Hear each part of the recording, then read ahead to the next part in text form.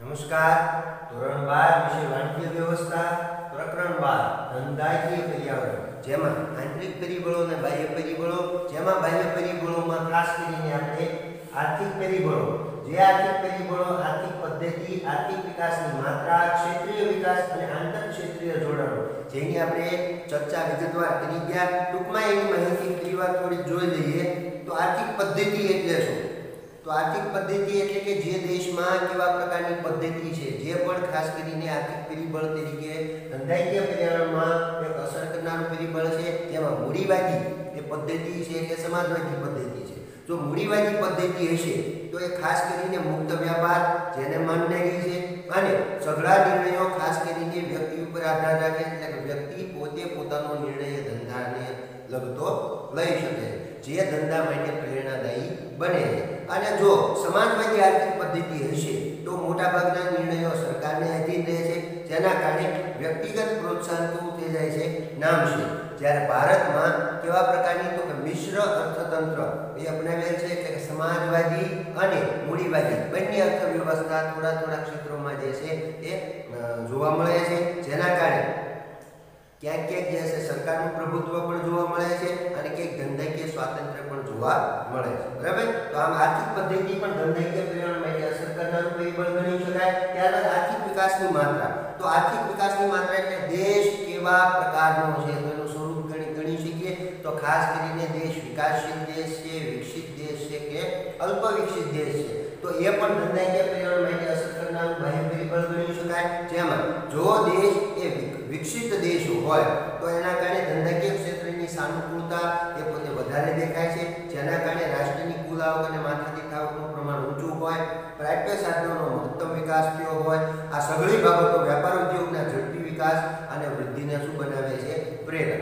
જો વિકાસશીલ દેશ હોય, તો ત્યાં રાષ્ટ્રીય આવક અને માથાદીઠ આવક સતત વધવાનું વલણ હોય, પ્રાપ્ય સાધન સંપત્તિનો ઉપયોગ વધતો જતો હોય, અને લોકોનું જીવન ધોરણ સતત એ વધારો થતો હોય. અને ધંધાકીય તકો મહત્તમ પ્રમાણમાં જે છે, એવા દેશોમાં સંભવિત ગણી શકાય.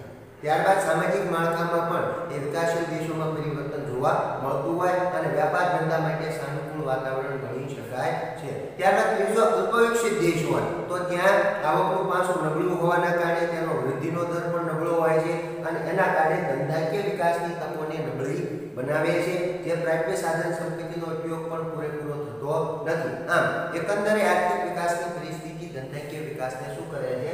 અવરોધે છે. તેના કારણે ધંધાકીય પર્યાવરણ જે વિસ્તરવું પડે, એ પોતે વિસ્તરી શકતું નથી અને ધંધાકીય એકમને એના લાભો મળી શકતા નથી. ત્યારબાદ ત્રીજું પરિબળ જોયું તો ક્ષેત્રીય વિકાસ અને આંતર ક્ષેત્રીય જોડાણ. તો ક્ષેત્રીય વિકાસ તો કે ત્રણ ક્ષેત્રોની આપણે ચર્ચા એમાં કરી હતી. ખાસ કરીને ખેતી ક્ષેત્ર, ઉદ્યોગ ક્ષેત્ર અને સેવા ક્ષેત્ર. જો કૃષિ ક્ષેત્રનું પ્રભુત્વ દેશમાં હશે, તો મોટા ભાગના લોકો કૃષિ ક્ષેત્રમાંથી મેળવતા હોય, કૃષિ ક્ષેત્રના વિકાસથી કુલ વિકાસમાં વધારો થતો હોય, કૃષિ ક્ષેત્રના પ્રભુત્વના કારણે રાષ્ટ્રની ઘણી ખરી શક્તિ પ્રાથમિક બાબતોમાં ખર્ચાય ખર્ચાય છે અને એના કારણે સ્વતંત્ર ઉદ્યોગ ધંધાનો ત્યાં જે છે વિકાસ જે છે નથી થતો એટલે કે વલણ જે છે એમાં ધીમું દેખાય છે. જો ઔદ્યોગિક ક્ષેત્ર હશે, તો એના કારણે દેશમાં જે છે ખનિજ સંપત્તિનું ખનન અને ખનિજના અન્ય વસ્તુઓના ઉત્પાદનમાં ઉપયોગ થતો હોય. ભૌતિક ચીજ વસ્તુઓના ઉત્પાદન સાથે વધુ માનવ શક્તિ જોડાયેલી હોય, શોધખોળ અને નવીનીકરણની પ્રક્રિયાને સતત વેગ મળે છે, જે ધંધાકીય વિકાસની તકને શું કરે છે? વધારે. ત્યારબાદ, જો સેવા ક્ષેત્ર હશે, તો આર્થિક અને સામાજિક સેવાઓનો એમાં ખાસ કરીને સમાવેશ થાય, જેમાં વાહન વ્યવહાર બેન્કિંગ પ્રવાસન, શિક્ષણ, આરોગ્ય વગેરેનો સમાવેશ કરી શકાય. જેના કારણે ધંધાકીય રોકાણની સંભાવના વધે, એટલા અંશે વિકાસની સંભાવના પણ જાય છે. જો અહીંયા જો જેમ જેમ લોકો ધીમે ધીમે કૃષિ ક્ષેત્રમાંથી ઔદ્યોગિક ક્ષેત્ર અને ત્યારબાદ સેવા ક્ષેત્ર તરફ વળતા જાય છે, તેમ ધંધાકીય તકો શું થતી જાય છે, વધતી જાય છે. કોઈ પણ સમાજના વિકાસમાં બધા ક્ષેત્રો સંયુક્ત રીતે જોડાય છે, વિકાસનો દર વધારતા હોય છે. જેમ ખેતીને સમૃદ્ધ કરવા માટે ખાતર, સારું બિયારણ, યાંત્રિકીકરણ જે ઉદ્યોગની માંગ કરે છે અને આ સાધન કૃષિ ક્ષેત્રે પહોંચાડવા માટે આનુષંગિક સેવા એટલે કે સેવા ક્ષેત્રની જરૂરિયાત પડતી હોય આમ ખેતી, ઉદ્યોગ અને સેવા ક્ષેત્ર એકબીજા ઉપર આધારિત બને છે અને એક ક્ષેત્રનો વિકાસ એ બીજા ક્ષેત્રના વિકાસ માટે જવાબદાર બની શકે. આમ, ક્ષેત્રીય ફેરફારો ધંધા, ઉદ્યોગ માટે સાનુકૂળ વાતાવરણનું નિર્માણ કરી શકે. બરાબર? તો આ ત્રણ મુદ્દાઓની આપણે વિગતવાર ચર્ચા કરી હતી. આજે આપણે આર્થિક પરિબળમાં ચોથું પરિબળ રાષ્ટ્રીય આવક અને માથાદીઠ આવક તો રાષ્ટ્રીય આવક અને માથાદીઠ આવક કઈ રીતે? આર્થિક પરિબળોમાં ધંધાકીય પર્યાવરણને અસર કરતું પરિબળ, બાહ્ય પરિબળ ગણી શકાય. તો એમાં રાષ્ટ્રીય આવકમાં વધારો એ ધંધાકીય એકમ માટે સાનુકૂળતા સર્જે છે. જે પ્રમાણમાં આવક વધે તે પ્રમાણમાં જો વસ્તી ન વધે, એટલે કે આવકની વધવાનો દર, વસ્તીના વધવાના દર કરતાં વધુ હોય, તો માથાદીઠ આવક વધે છે. અને એના કારણે રાષ્ટ્રીય આવક અને માથાદીઠ આવક વધતા જીવન જરૂરિયાતની અને અન્ય ચીજ વસ્તુ અને સેવાની માંગમાં શું થાય છે? વધારો. જો રાષ્ટ્રીય આવક વધતી હોય, તો એના કારણે ખાસ કરીને ધંધાકીય એકમ માટે સાનુકૂળતા સર્જે છે. એટલે કે પ્રમાણમાં આવક વધતી હોય એના પ્રમાણમાં જો વસ્તી ઓછી વધતી હોય, તો એના કારણે માથાદીઠ આવક કેવી થાય છે? ઊંચી થાય છે. એટલે રાષ્ટ્રીય આવક અને માથાદીઠ આવક ઊંચી થતાં જીવન જરૂરિયાતની વસ્તુઓ અને સેવાઓની માંગમાં શું થાય છે? વધારો થાય છે. ધંધા માટે હકારાત્મક અભિગમ પરિબળ છે, આવક વધતા ઉચ્ચ ગુણવત્તા યુક્ત માંગ વધે છે. દાખલા તરીકે મોજ શોખની વસ્તુઓ, બ્રાન્ડેડ કપડાં વગેરે. બરાબર? તો આ જે છે, ઉચ્ચ ગુણવત્તા વાળી માંગ જે છે વધમાં વધારો થાય છે જેમાં મોજ શોખની વસ્તુઓની વાત કરી શકીએ બ્રાન્ડેડ કપડાની વાત કરી શકીએ તો આવી ખાસ કરીને લોકોની આવકમાં વધારો થાય એટલે કે ખાસ કરીને રાષ્ટ્રીય આવકમાં વધારો થાય અને માથાદીઠ આવક જો ઉચ્ચ પ્રમાણમાં વધતી હોય તો એના કારણે આવી માંગમાં જે છે વધારો થઈ શકે જે પણ પરિબળ એ બાહ્ય પરિબળ એ ધંધાકીય પર્યાવરણને અસર કરતું પરિબળ આપણે ગણી શકીએ ત્યારબાદ રાષ્ટ્રીય આવકની વહેંચણી તો રાષ્ટ્રીય આવકની વહેંચણી એ સમાજના જુદા જુદા વર્ગો વચ્ચેની ભેદરેખા સ્પષ્ટ કરે છે, જેમ રાષ્ટ્રીય આવકની વહેંચણી અસમાન, તેમ સગવડ વધારતી અને પ્રતિષ્ઠા મૂલ્ય ધરાવતી વસ્તુઓ અને સેવાઓની માંગમાં વધારો થાય, રાષ્ટ્રીય આવકની વહેંચણીમાં થતા પરિવર્તનો પણ વસ્તુઓ અને સેવાઓની માંગને શું કરે છે? અસર કરે છે. જો રાષ્ટ્રીય આવકની વહેંચણી જો અસમાન હોય, તો અમુક લોકો પાસે મોટા ભાગની આવક જે છે પોતે આવે છે અને એના કારણે એ વધુમાં વધુ જે છે એ ઉચ્ચ ગુણવત્તાવાળી એટલે કે સગવડ વધારતાવાળી અને પ્રતિષ્ઠાવાળી વસ્તુઓ અને સેવાઓની માંગમાં વધારો કરે છે. જ્યાં સુધી વહેંચણીમાં પરિવર્તનો નહીં આવે, ત્યાં સુધી આવી જે છે માંગમાં વધારો સતત થતો રહે છે. ત્યારબાદ આવ્યું છે નાણાકીય નીતિ. તો નાણાકીય નીતિમાં વ્યાજના દરોમાં ફેરફાર ફુગાવાનો દર શાખ સર્જન શાખ પ્રાપ્યતા વગેરેનો સમાવેશ થાય. દાખલા તરીકે મકાન માટેની લોનના વ્યાજના દરોમાં ઘટાડો થવાના કારણે મકાનોની માંગ વધે છે અને આ સાથે સંકળાયેલા અન્ય ઉદ્યોગો જેવા કે ફર્નિચર, રેતી, કપચી, ઈંટો વગેરેની માંગમાં પણ શું થાય છે? વધારો જો નાણાકીય નીતિ તો નાણાકીય નીતિ એટલે શું? તો જેમાં વ્યાજના દરનો ફેરફાર ફુગાવાનો દર, શાક સર્જન, શાક પ્રાપ્યતા વગેરેનો એમાં ખાસ કરીને સમાવેશ કરી શકાય. ઉદાહરણ આપ્યું છે, જો તમારે મકાન લેવું હોય લોન હોય, તો લોનના વ્યાજના દરમાં જો ઘટાડો કરવામાં આવે, તો એના કારણે મકાનની માંગમાં શું થાય છે? વધારો. તો એની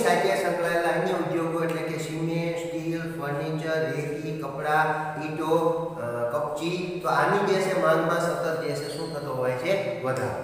ત્યારબાદ રાજકોષીય નીતિ તો રાજકોષીય નીતિ કરવેરાના માળખા અને સરકારી ખર્ચ સાથે સંકળાયેલી છે રાજકોષીય નીતિના મુખ્ય હેતુઓ નીચે મુજબ હોઈ શકે. જો રાજકોષીય નીતિ એટલે શું? તો કે કરવેરા માળખા અને સરકારી ખર્ચ સાથે જેની એ જે પોતે સંકળાયેલી હોય છે અને એના મુખ્ય હેતુઓ નીચે પ્રમાણે આપણે જોઈ શકીએ. જેમાંનો પહેલો હેતુ સાધન સંપત્તિનો મહત્તમ ઉપયોગ જો નીતિમાં પહેલો હેતુ એવો ઘડવામાં આવે છે કે વધુમાં વધુ સાધન સંપત્તિ એનો ઉપયોગ થવો પડે. મહત્તમ ઉપયોગ થાય તો જ દેશનો જે છે વિકાસ થઈ શકે. વણ વપરાયેલું કોઈ પણ સાધન પડી રહેવું પડે નહીં. બીજું, ઝડપી વિકાસ માટે સાધન સંપત્તિની શ્રેષ્ઠતમ ફાળવણી કરવી જો દેશનો ઝડપી વિકાસ કરવો હોય, તો યોગ્ય જગ્યાએ જો સાધનની ફાળવણી કરવામાં આવે, તો પણ જે છે દેશનો વિકાસ એ ઉચ્ચતમ કક્ષાએ પહોંચાડી શકાય. ત્યારે આવકની વહેંચણીમાં શક્ય હોય તેટલી સમાનતા લાવી એટલે કે અસમાન વહેંચણીને સમાન ધોરણે વહેંચણી કરવામાં આવે, તો એના કારણે પણ દેશનો ઉચ્ચતમ વિકાસ થઈ શકે. ત્યારબાદ ચીજ વસ્તુઓને સેવાની કિંમતમાં સ્થિરતા લાવી જો ચીજ વસ્તુને સેવાની કિંમત એ સ્થિર ટીકી રહે, એટલે કે એમાં બદલાવ ન પણ એક રાજકોષીય નીતિનો હેતુ રહેલો છે. આમ ચાર હેતુઓ ખાસ કરીને રાજકોષીય નીતિના છે. પ્રથમ, સાધન સંપત્તિનો મહત્તમ ઉપયોગ કરવો. બીજું, ઝડપી વિકાસ માટે સાધન સંપત્તિનો શ્રેષ્ઠતમ ફાળવણી કરવી. ત્રણ, આવકની વહેંચણીમાં શક્ય હોય તો સમાનતા લાવવી. ચાર ચીજ વસ્તુ અને સેવાની કિંમતમાં શું કરવું? તો કે સ્થિરતા લાવવી.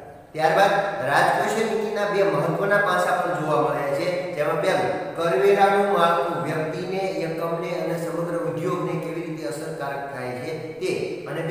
સરકારી ખર્ચના કારણે આર્થિક પ્રવૃત્તિઓ પર કેટલી અસર થાય છે. તો રાજકોષીય નીતિના બે મહત્વના પાસા પણ છે.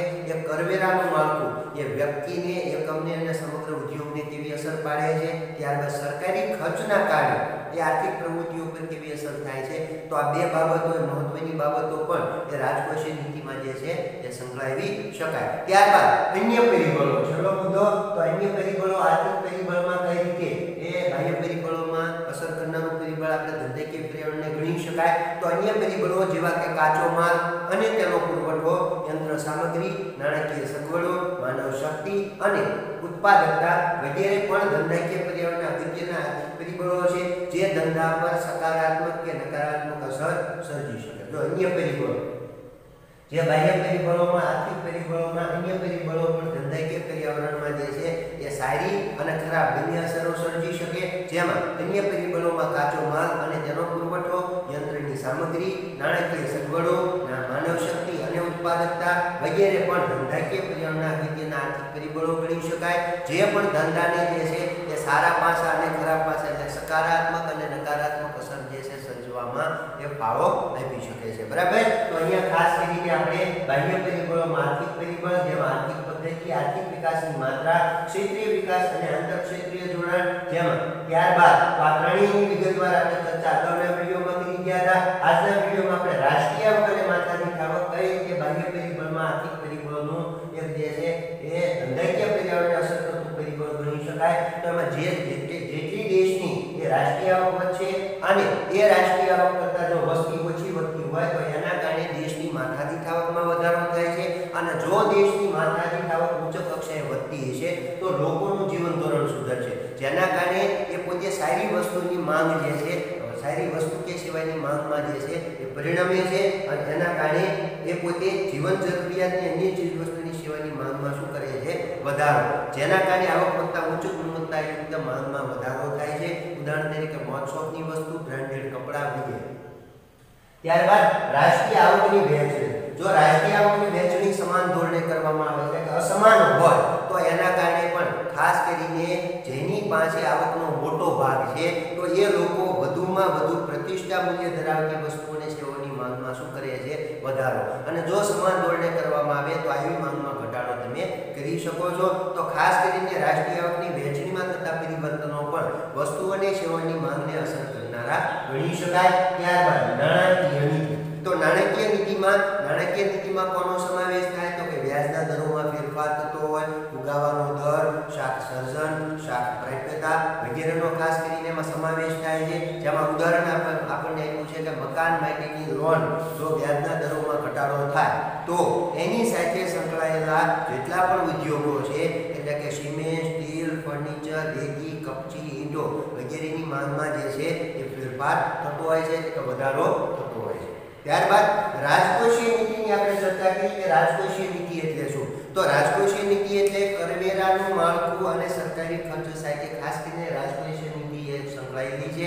જેમાં રાજકોષીય નીતિના હેતુ આપણે તપાસીએ તો પહેલો હેતુ રાજકોષીય નીતિનો છે કે કોઈ પણ દેશમાં સાધન સંપત્તિનો મહત્તમ ઉપયોગ થવો પડે વધુમાં વધુ ઉપયોગ કરવો પડે. અને એના કારણે દેશનો વિકાસ ઉચ્ચતમ કક્ષાએ તમે પહોંચાડી શકો. બીજું, ઝડપી વિકાસ માટે સાધન સંપત્તિનો મહત્તમ ઉપયોગ કરવાનો. પણ એ સાધન સંપત્તિનો જે છે ફાળવણી, એ જો શ્રેષ્ઠતમ કરવામાં આવે, તો એના કારણે પણ ઉચ્ચતમ કક્ષાએ તમે જે છે વિકાસની માત્રાને પહોંચાડી શકો છો અને દેશને વિકસિત બનાવી શકો છો. ત્રીજું, આવકની વહેંચણીમાં શક્ય તેટલો જે છે એ સમાનતા લેવી એટલે કે અસમાન વહેંચણી જે છે એ દરેક લોકોને એટલે કે છેવાડાના વ્યક્તિને પણ જે છે એ આવકની વહેંચણી એટલે કે આવક યોગ્ય જગ્યાએ પહોંચે એવા પ્રયત્નો દેશને, દેશે કરવા જોઈએ, સરકારે કરવી જોઈએ. જેના કારણે આવક વહેંચણી જે છે એ યોગ્ય ઢબે કરવામાં આવે. તો એના કારણે પણ વિકાસની માત્રાને ફેરફાર લાવી શકાય અને રાજકોષીય નીતિમાં જે છે, પરિવર્તનો લાવી શકાય. ચોથી બાબત ચીજ વસ્તુઓ અને સેવાની કિંમતમાં સ્થિરતા લાવી. તો ચીજ વસ્તુઓની સેવાની કિંમત એ ચોક્કસ સ્થિર બનાવવા માટે પણ ખાસ કરીને રાજકોષીય નીતિ ઘડવામાં આવે છે. જેના કારણે ખાસ કરીને ફુગાવો એ ઘટાડવા માટે, ફુગાવો જેટલો ઊંચો હશે એટલો ભાવમાં જે છે ફેરફારો થતા હોય કે વધતા હોય. તો એને જે છે કંટ્રોલ કરવા માટેની રાજકોષીય નીતિ જે છે સરકારે ઘડવી પડે. ત્યારબાદ રાજકોષીય નીતિના બે મહત્વના પાસાની આપણે ચર્ચા કરીએ તો પહેલું કરવેરાનું માળખું, જે વ્યક્તિને, એકમને અને સમગ્ર ઉદ્યોગને કેવી અસર અસર કરે છે, તો એના ઉપર ડિપેન્ડ છે. ત્યારબાદ બીજું, સરકારી ખર્ચના કારણે આર્થિક પ્રવૃત્તિઓ પર કેવી અસર થાય છે, તો આપણે એક એના ઉપર જે છે, અગત્યનું પાસું ડિપેન્ડ કરે છે. અને છેલ્લો અન્ય પરિબળો, તો અન્ય પરિબળો, બાહ્ય પરિબળોમાં આર્થિક પરિબળો, એ ખાસ કરીને ધંધાકીય પર્યાવરણને કઈ રીતે અસર કરે છે, તો એમાં ખાસ કરીને કાચો માલ અને તેનો પુરવઠો યંત્ર સામગ્રી નાણાકીય સગવડો માનવ શક્તિ અને ઉત્પાદકતા વગેરે પણ ધંધાકીય પર્યાવરણના અગત્યના આર્થિક પરિબળો છે, જે ધંધા ઉપર સારી અને ખરાબ બંને, એટલે કે સકારાત્મક અને નકારાત્મક અસરો સર્જવામાં મહત્વનો ફાળો આપતા હોય છે. આમ, આજે આપણે ખાસ કરીને બાહ્ય પરિબળોમાં આર્થિક પરિબળો, જેમ અગાઉના વિડીયોમાં આર્થિક પદ્ધતિ, આર્થિક વિકાસની માત્રા અને ક્ષેત્રીય વિકાસ અને આંતરક્ષેત્રીય ધોરણોની ચર્ચા કરી.